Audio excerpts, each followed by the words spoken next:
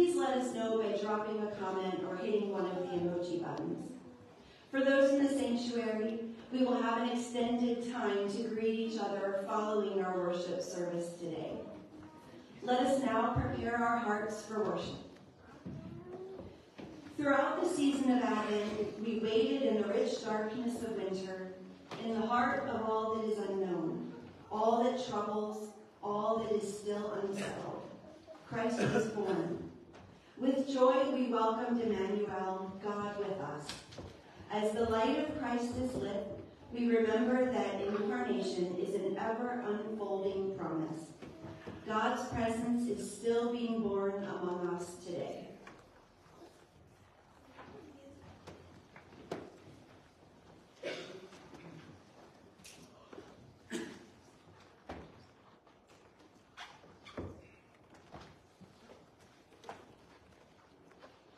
Please join us in our call to worship. Hear what God says about those who strive to walk in the way of discipleship. The righteous flourish like the lush palm tree and are strong like the cedar. We are like trees planted near a steady source of water, with green leaves and good fruit. Our fruit is love, joy, peace, patience, Kindness, generosity, faithfulness, gentleness, and self-control. God, as we come together on this day of worship, May we flourish and bear good fruit. let us pray. Lord, transform us, not for our benefit, but for the benefit of the world. Do your work in us, molding us, making us, shaping us, changing us, to be the new creation you have called us to be in Jesus Christ. Do your work in our church. Help us to be the body of Christ engaged in mission, testifying to the power of our faith, witnessing to the presence of our living and loving Savior, Jesus Christ. Help us surrender the church back to you. It is yours, not ours. Let us lay aside our personal agendas and preferences so we can be fully committed to your calling for us. Do your work in our world. Give to us a vision of transformed lives, neighborhoods, and communities, and how we can partner with you to see what can happen when people of faith make an eternal difference, living and loving like Jesus and giving themselves fully, heart, mind, and strength, to be the very presence of Jesus Christ in our world, bringing blessings and redemption for the glory of God. Amen. You may be seated. Can you believe we are in the last session of this worship series, Never? It seemed to fly by for me. I don't know about you. But we began our series with the story of the Magi who followed, they were guided by a star. They followed the star to find the baby Jesus. And they encountered Jesus and then they went home a different way. In our scripture reading from Paul to the Galatians, he implores them to be guided by the Spirit and that the fruit of the Spirit is love, joy, patience, peace, kindness, goodness, faithfulness, gentleness, and self-control. So we've dug into each of those attributes of the fruit of the Spirit.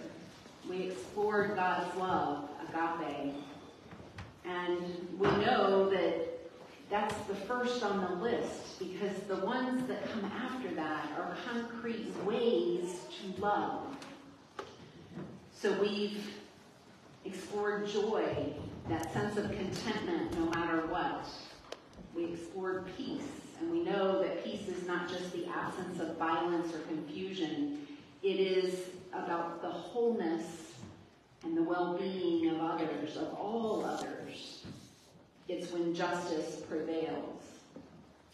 We've explored patience as a posture, a posture of endurance, of exercising restraint instead of revenge. We've explored kindness, again, a posture where we soften our edges, where we don't require people to be exactly like us or believe exactly like us. We've explored goodness, which is active in doing good deeds. It's not just enough to think about doing, it's about the doing. We, we explored faithfulness, which was the personification of good faith, trust, and reliability. And in Scripture, we found that it was used to describe both the trustworthy and those believing in Jesus Christ. So today, we have our final two attributes. Today, we will explore gentleness and self-control. So I invite you, as Jimmy reads the scripture today from both the Old Testament, actually they're both New Testament. I thought we might have an old one. That's next week. I'm already in next week, so I don't know what to tell you. Two of our scripture readings today from the New Testament. Listen for how these are all woven together. Listen, because it's pretty hard to pull them apart, right? This is a fabric, a fabric of love that we're talking about. So hear these words.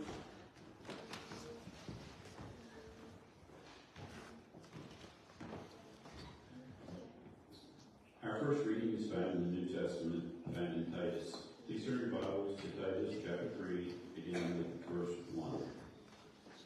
Remind them to be subject to rulers and authorities, to be obedient, and to be ready to do for every good work, to speak evil to, of no one, to avoid quarreling, to be gentle, and to show every courtesy to everyone. For we ourselves were once foolish, disobedient, led astray, slaves to various passions and pleasures, passing our days in malice and envy, despicable, hating one another. But when the goodness and loving kindness of God, our Savior, appeared, he saved us, not because of any works of righteousness that we had done, but according to his mercy, through the water of rebirth and renewal by the Holy Spirit. The Spirit he poured out on us richly through Jesus Christ our Savior, so that, having been justified by his grace, we might become heirs according to the hope of eternal life. The saying is sure. My sins are reading from Titus, please stand, stand and join in singing I am thine, O Lord. Number 419 in your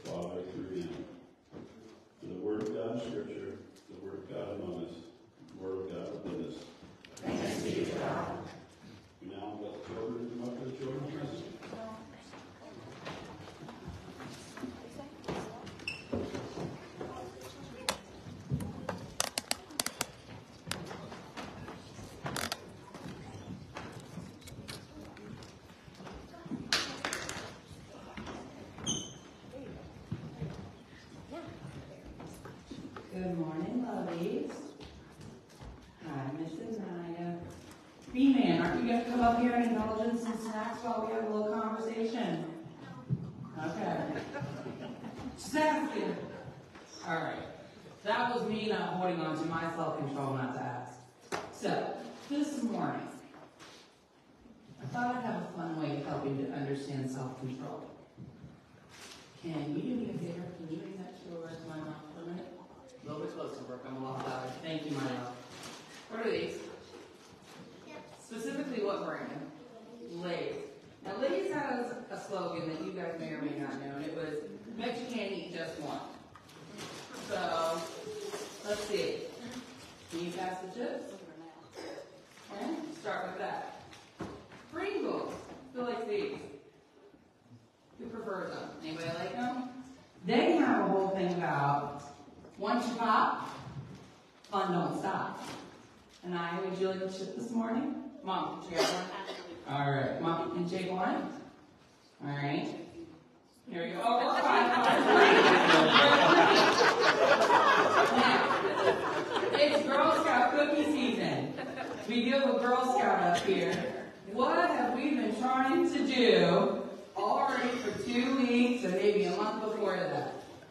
Trying to get people to buy Girl Scout cookies. But cookies don't just come single. Come in two sleeves or a whole box that once you open, the freshness just stops. Now, God provided us with something amazing.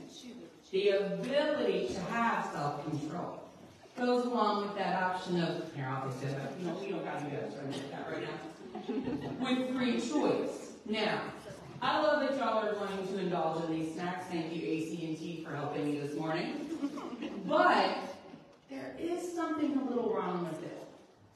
Now, I failed, and I'll use my Girl Scout cookie obsession of my own.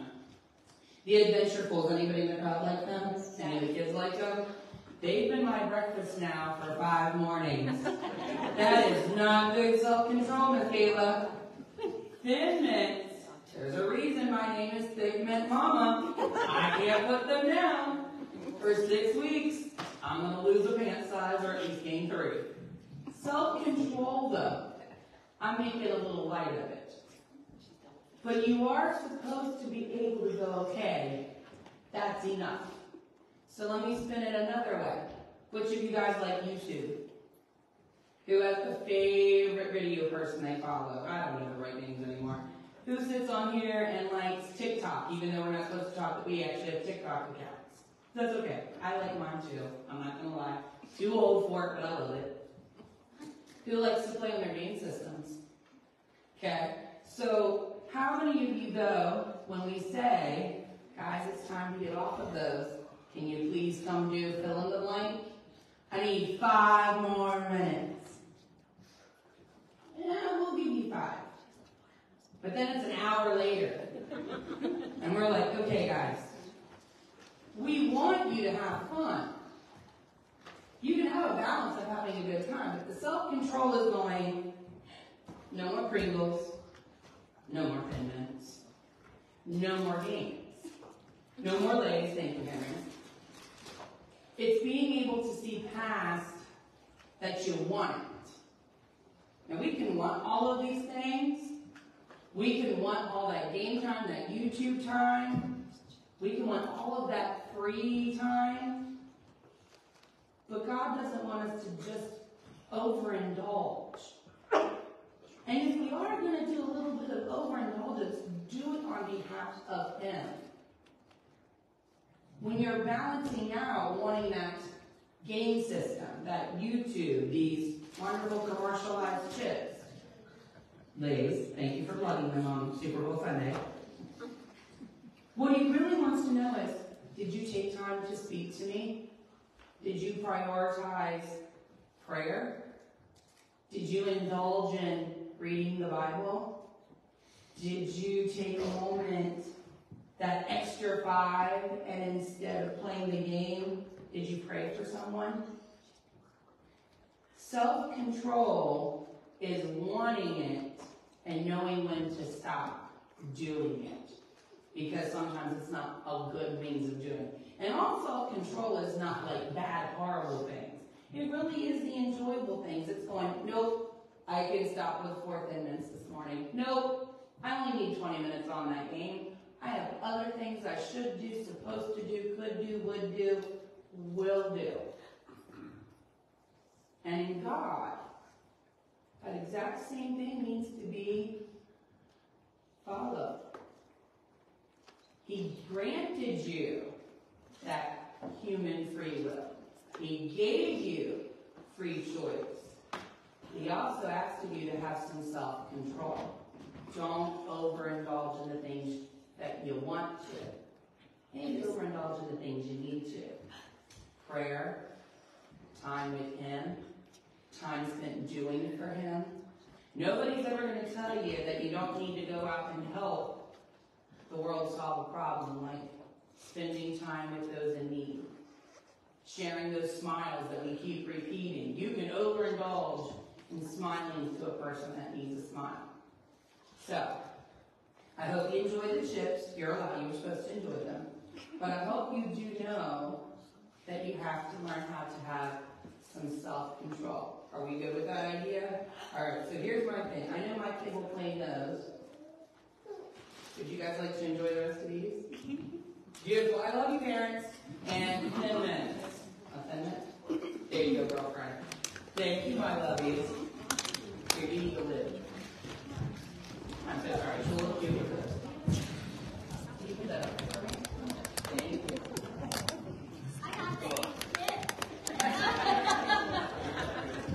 We got the chips. I mean, it, it worked.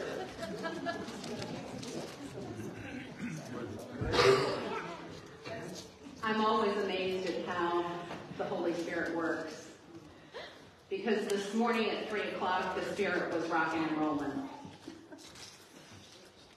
And the Spirit was rocking and rolling for me in gentleness. And I kept thinking, I've got to have more about self-control. Gayla and I didn't plan this, but her focus was on self-control today. So that's a God thing, folks. This is the Holy Spirit at work and trusting that this is the message from the Spirit. So gentleness. Gentleness and self-control. Gentleness, the Greek word is praotius. Praotius. I've had to pronounce that, practice that a lot. Sometimes this word is translated as gentleness, and sometimes it is translated as meekness. This word, this attribute, does not denote an outward expression of feeling, but it's an inward grace of soul. It's a calmness toward God in particular. It's an acceptance of God's dealings with us, considering them as good in that they enhance our closeness, that they enhance our relationship with God. Now, Jesus was described as meek. Would you say Jesus was weak? No. Okay. So meekness does not equal weakness. In fact, the Greek word encompasses expressing wrath toward the sin of humanity, toward injustice. And in fact, Aristotle said that praetes is the virtue that stands between two extremes. Uncontrolled and unjustified anger on one hand, or one extreme, and not becoming angry at all, no matter what takes place around us, is the other extreme.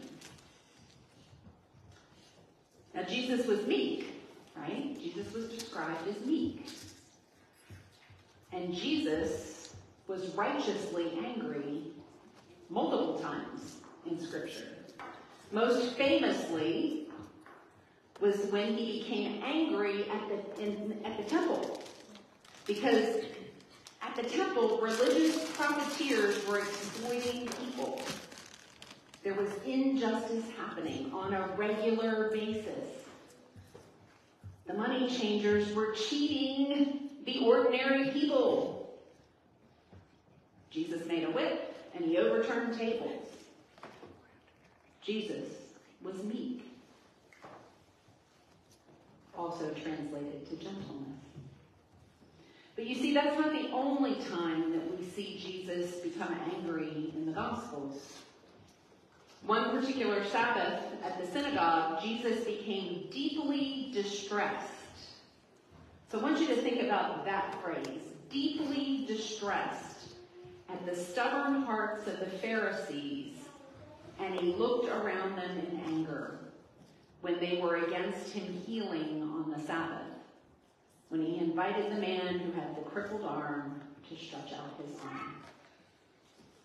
Jesus also became indignant with his own disciples when they prevented the children from coming to him. He rebuked them. See, language is a funny thing, right? Deeply distressed, rebuked, righteous anger. Are we getting a theme here?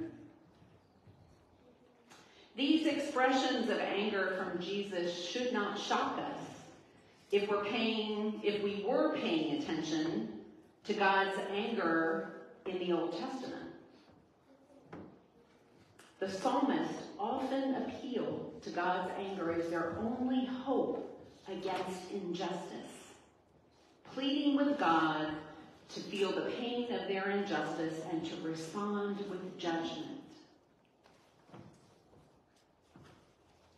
This meekness does not blame God for the injustices, the evil doings of humanity. This meekness is a righteous anger for injustice.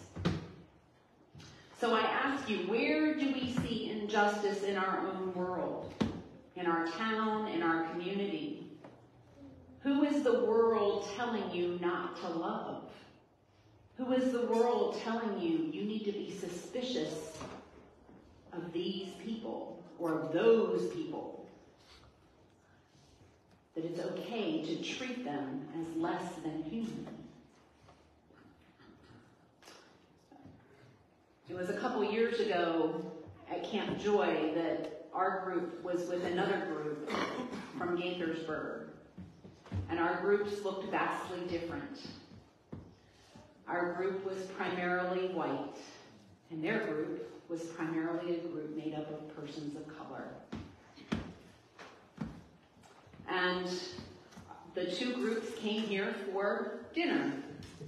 Ma- marvelous taco dinner, right? We love taco dinner at Hancock United Methodist Church.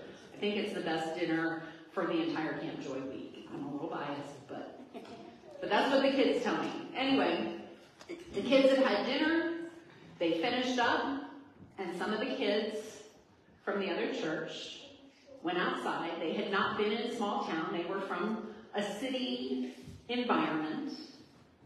And they were standing just across the street at Joseph Hancock Park. You know where the little indentation is and the little benches are right there? And they were just kind of looking up and down Main Street. They were waiting for their leaders to come out so that they could all pile in their cars and go back to Camp Harmison.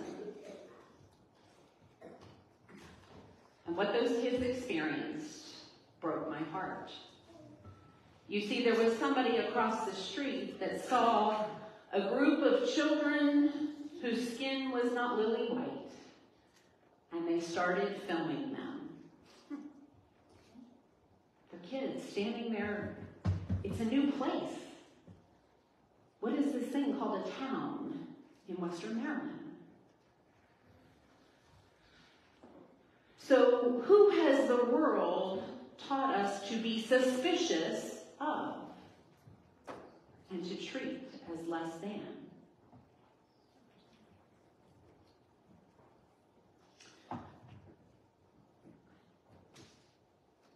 I have a friend from seminary, and Cornell is my age. He grew up about 20 miles from where I was born and raised. And his mom and my mom are the same age. Now, Cornell is a black man, and I'm a white woman. Our life experiences have been very different. But the thing that we have in common, we have a lot of things in common, but this particular thing, we discovered during a class on systematic theology. And in that class, we were talking about systemic evil. And we talked about the experiences our mothers had growing up in the era of Jim Crow laws. My mother was in seventh grade when the schools were integrated. And there were many conversations about different ways people were treated, right? And my mom would say, that's just the way it was. You see, the thing that Cornell and I had in common is when he would ask his mom about how things were, she would say, it's just the way things were.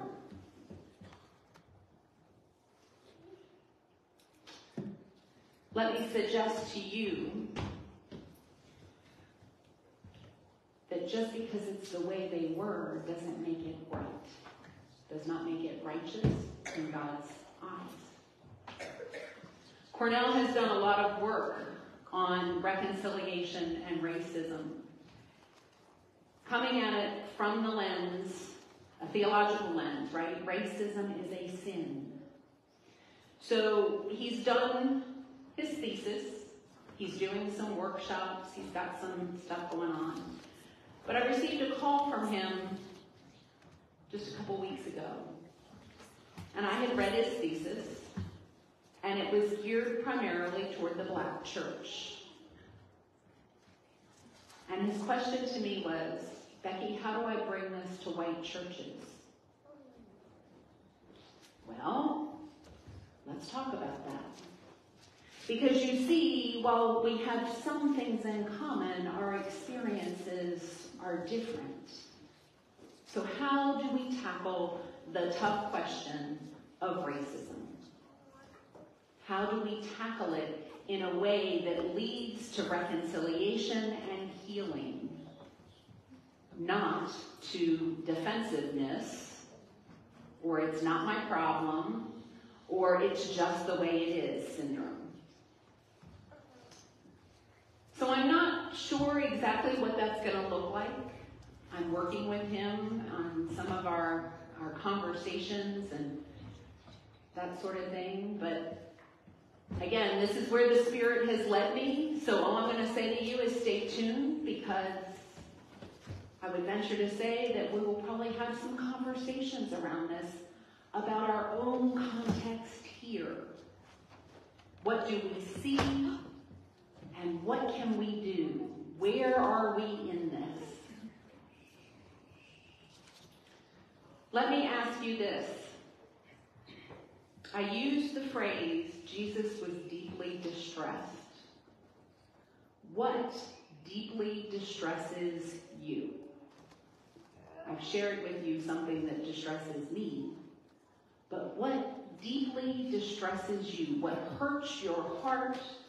What injustice out there makes you want to cry? What makes you righteously angry? Angry on behalf of others. Angry because you see the injustice taking place and perhaps feel helpless because it's just the way it is.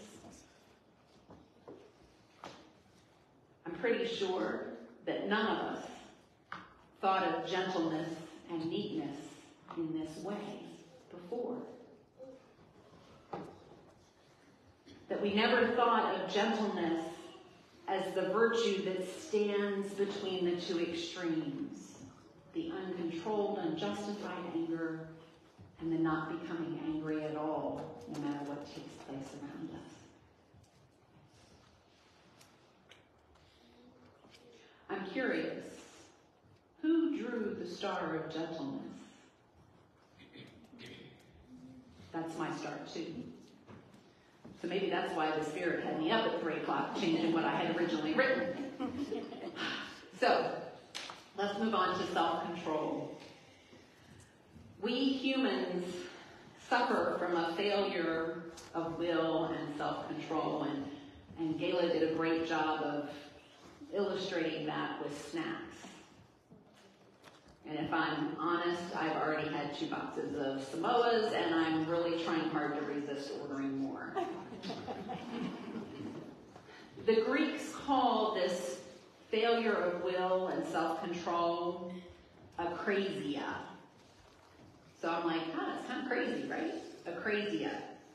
It translates to lacking command because of the tendency human brains is to place a higher value on immediate rewards than future rewards. We often fall victim to that lack of control. In fact, how many of you hit the snooze button this morning? Because that instant gratification of more sleep was more important in the moment than having time to take a shower, drive the speed limit to get to church on time. This akrasia, this lack of control, is what keeps us chasing the next high without thinking about the consequences. That high could come from reckless behavior, adrenaline based behavior, or something other. It's the more, more, more, now, now, now. It is self-indulgence and it's excess.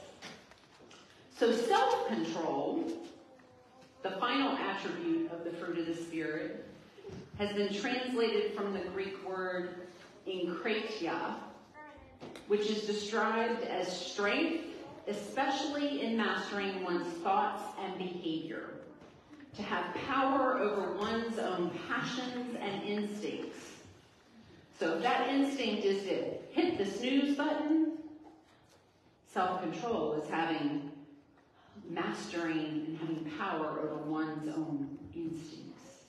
Self-control is about being moderate and not getting into indulgence or excess. It is a contentedness or sufficiency. It's the opposite of only focusing on immediate. So, back in the 1980s, the law, banking laws changed. And all of a sudden, credit card companies could now issue credit to 18 year olds. College campuses were covered with applications. You've been pre approved for $2,000. What college student in the 80s even had 20 bucks in their pocket, let alone $2,000? But the immediate gratification, you just use this card. You can you can have that pair of shoes, you can have the skirt, the jacket. You can go out, you can get pizza, and whatever other snacks you want. Just keep ringing that card up. Keep ringing it up. It's instant gratification. Till it's not. Until you're overcome by debt. Debt that you're now buried under. So you see, for me, self control goes into how I manage my money, right? So now, much wiser, a little bit stronger, a little bit more in control of myself. I save for an item. There's a pair of boots I want. Do I have the cash in my in my checking account? If I do, then I can get it. If I don't, guess what? I gotta wait. That benefit, that later benefit, is what becomes more important than the instant gratification. Self control shows up in all aspects of our lives, in all aspects of our behavior. And I suggest that it's not something we do on our own. You see, the Holy Spirit has been poured out onto us richly through Jesus Christ. We read that in the scripture today. Right? So, the self control, the gentleness, the patience, the joy, the love, the all of the different attributes of the fruit of the Spirit. We can't do any of that on our own. It is through the Spirit of Jesus Christ in us that we are able to live lives with self control, with gentleness, with patience, with kindness, meekness. I pray that you have been as blessed by this series as I have. Jean and I were talking this morning about this, and I said, you know, as we've tried to pull these attributes apart, we realize how closely they are woven together. So even if you've drawn one star word, but another one has resonated with you, that's okay. Because they're all fruit of the Spirit together.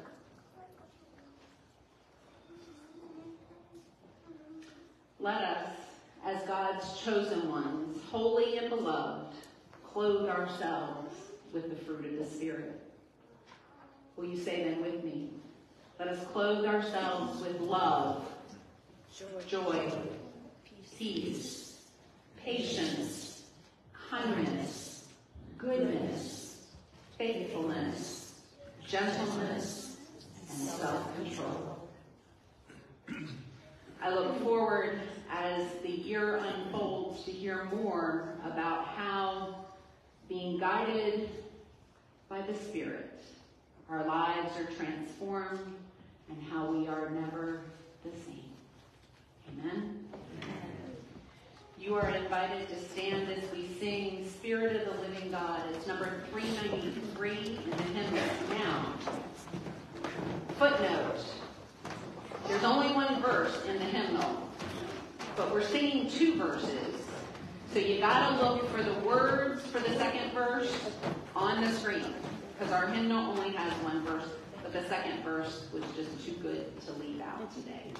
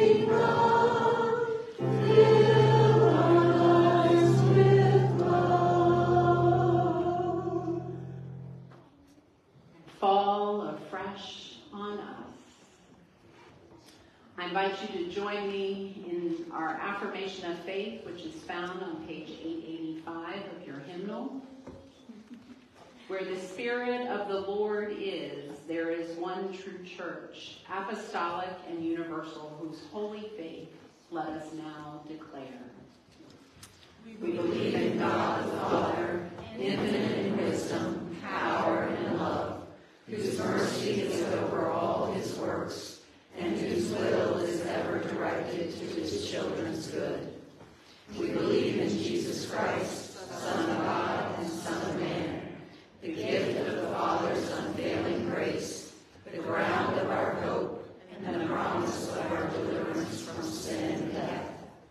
We believe in the Holy Spirit as the divine presence in our lives, whereby we are kept in perpetual remembrance of the truth of Christ and find strength and help in time of need. We believe that this faith should manifest itself in the service of love as set forth in our example of our blessed Lord, to the end that the kingdom of God may come upon the earth.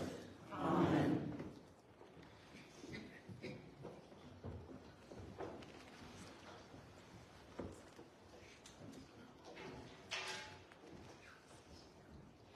We invite the Spirit into our efforts.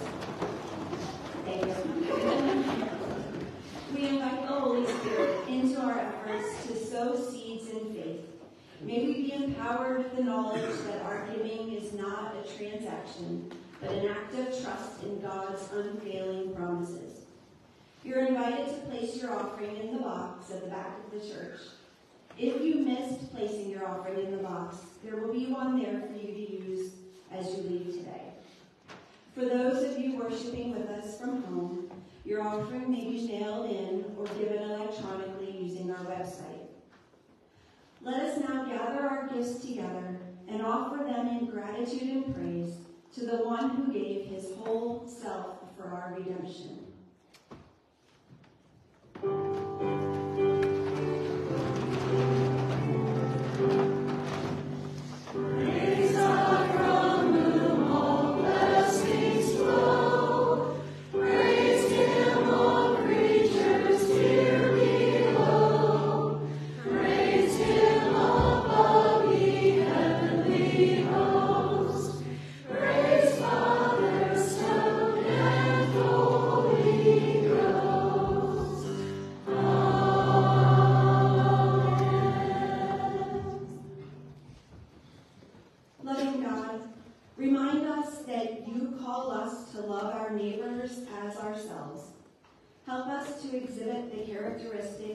Gentleness, joy, generosity, and self-control. Bless this offering which supports the ministries that enable people to live by and in the Spirit. We pray in Jesus' name. Amen.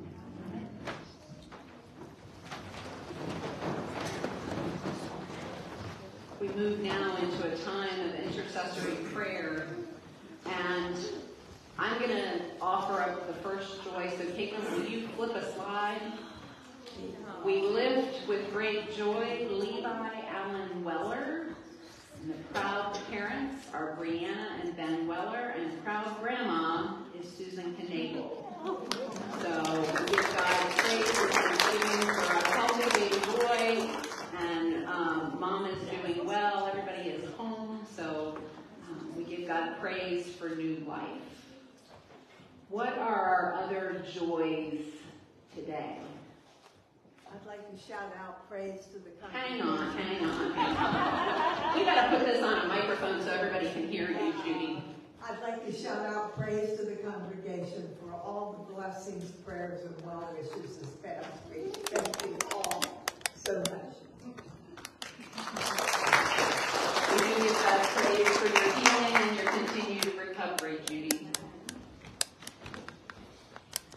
What are our other joys this week? My sister Hazel. Hazel. We give God praise for Hazel. She is still hospitalized, but she is doing well. Um, and we continue to lift her for prayer as she recovers.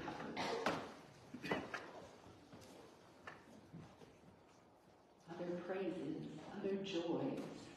Surely we've had some joys this week, folks. Roger. I had the joy of taking my wife out on a date last night, um, pre-Halloween, uh, pre-Halloween. Uh, excuse me, a pre-Valentine uh, dinner, and uh, we had a great time. We didn't get dressed up, you know, we did wear nice clothes. So we celebrate the joy of your relationship, the joy of being able to go out together and spend time together.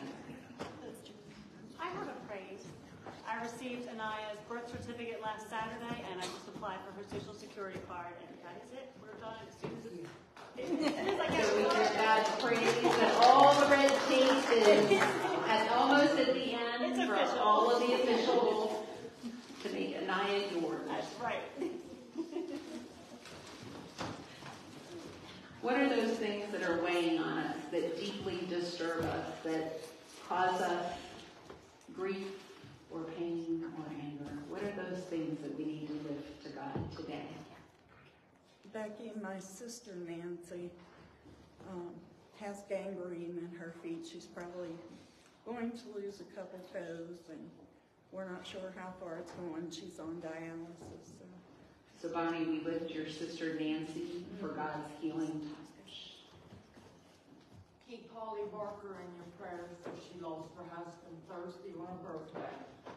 So we do lift Polly and her family as they grieve the loss of Dick. Um, I got to spend some time with her, and um, what she said is, "This is going to be hard. This is going to be hard."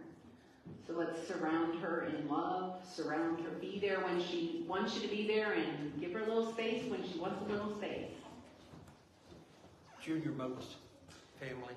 the family of Junior Moats, who are also grieving. We lift Margaret Weller, who is also hospitalized.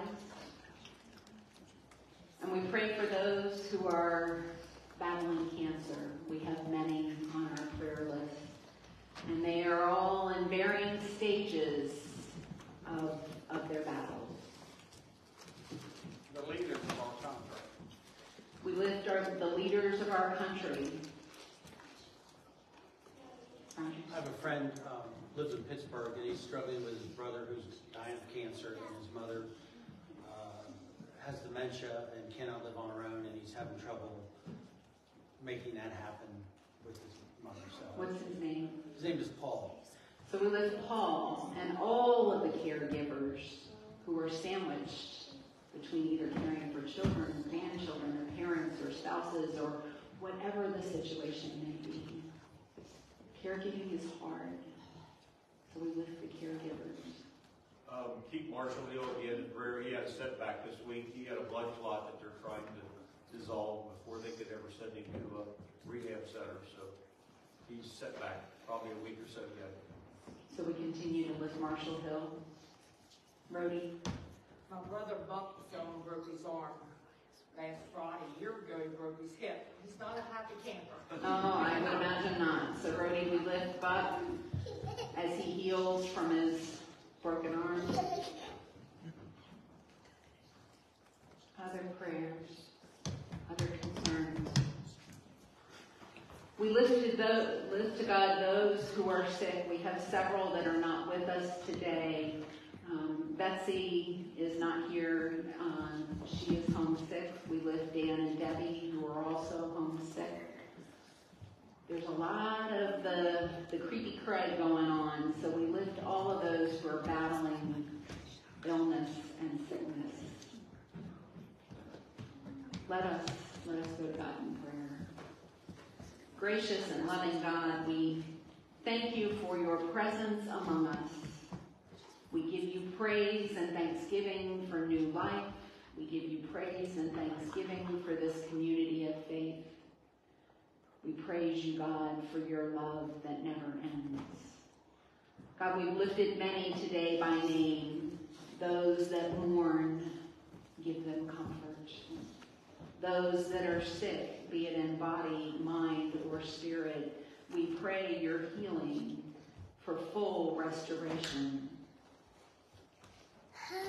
For those who are leading and guiding communities, states, nations, be with them, God. Guide them. Let your fruit let your spirit fill them so that your fruit may be evident. God, we lift our brothers and sisters in this parish, the people of Catalpa and Piney Plains United Methodist Churches, that together we can be your hands and feet in the communities in which we reside. And together, let us pray in the words that Jesus gave his disciples to pray. Our Father, who art in heaven, hallowed be thy name. Thy kingdom come, thy will be done, on earth as it is in heaven. Give us this day our daily bread, and forgive us our trespasses, as we forgive those who trespass against us. And lead us not into temptation, but deliver us from evil. For thine is the kingdom, the power, and the glory, forever and ever. Amen. So we have a lot of announcements today. It's a busy time of the year. Today, right after church, we will be packing boxes for our college students. So if you have time and you want to stay and help, Polly is leading the charge on that, and uh, we will be packing in the primary area.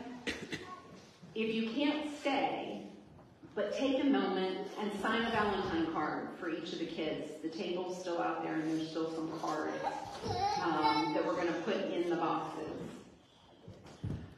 Uh, so, Lent is here, folks. It starts on Wednesday with Ash Wednesday. So, Tuesday is Shrove Tuesday.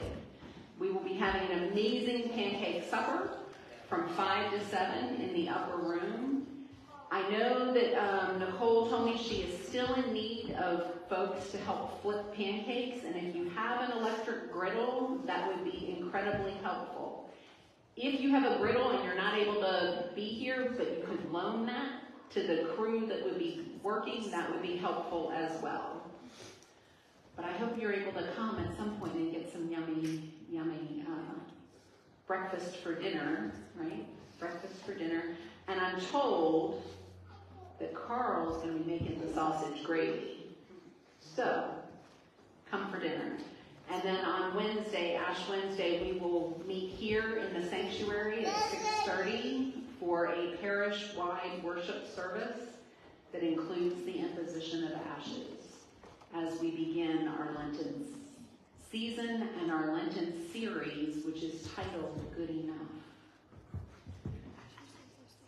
So that's Tuesday, Wednesday, Thursday, we have table worship. And I'm excited about this month's table worship. The topic is elderhood. We kind of understand childhood, we understand adulthood, kind of. But this thing called elderhood, we're going to dive into that and explore that. And I know Nancy's um, been doing a lot of good work with that, and I'm excited to see what that looks like. On Saturday, we've got a couple things going on Saturday. Hope House in Berkeley Springs, the women's shelter for those that women that are homeless. They're having an open house from 8 to 4:30. You are invited to pop in, meet the staff, meet the ladies, see the facility. And if God draws your heart to service for the homeless, this would be a great place to plug in because it is literally just across the river. It's a short jaunt. The new member class will also be Saturday, that's going the 24th, from 9 to noon. And then the young adults, I'm thrilled about this. There's going to be a young adult hangout at Locust Post Brewery to have do a thing called pub theology. It is a family-friendly facility, so 18 years and older are welcome to join us as we have a conversation about who is God to you. What does that look like in your life? So the conversations are theological in nature as we sit around the tables and um, have the conversation, and then they also have a whole bunch of games there, so I'm told that they'll probably pull out some games and play games too. So that is on the 24th from at one o'clock. I don't think that showed up very well. Um, Easter flowers orders are due on the 25th. And we will also be having a hospitality team meeting right after church on the 25th. So, uh, and see, there's still more. Wait, there's still more. March 2nd, for those of you that have done work with the firewood ministry, mark your calendars. March 2nd, we're going to do, we're going to go out to Miss Bonnie's because she had some trees taken down and we're going to do some cutting and splitting right on her property. And then, Gary? Just, if, if you feel moved to help with that, please let me or the pastor know because we are not going to get out and tackle that job with less than eight people. And I'd really like to have 10 or 12 because we have to move wood, chunks of wood, the whole way around her trailer down to one of the few level spots where it can be split and stacked. And some of us are in elderhood. and oh, right now, I mean, Connie has committed, Dean, of course, will help with his splitter, I'll be there. But we really need to have commitments from eight or 10 people before we take this on because it's just going to be a whole lot of rolling and carrying stuff around for part of a day. Okay, so you guys heard the plea. We really, really, really need a lot of hands for the firewood ministry with Miss Bonnie. All right. I'm going to kind of throw Tracy on the spot a little bit, or maybe Robin, or maybe I'll just have you guys raise your hands. Okay? Easter egg hunt coming up March 23rd. Robin and Tracy are coordinating that, so I'm sure we will have more to come about it. Mark your calendars because this season is a busy season. Um, it'll be out at Widmeyer Park um, in the early afternoon, so more details will be coming on that. And then the youth met yesterday to talk about Camp Joy, which is in July. But guess what? The planning has already started. And the important thing that we are asking you to do is undergird that ministry in prayer. Spread the word. We have homeowner applications that are available. You may know someone who lives near you, or maybe they don't live near you, but you may know someone who could benefit from help in doing some home repairs. So please help us spread the word. And if you are led, there are many, many places that you can serve, and there'll be more coming on that. So those are all of the announcements. I told you there was a lot of announcements today because we are entering a very busy season in our church life. I invite you to stand as we sing our closing song, Since Jesus Came Into My Heart.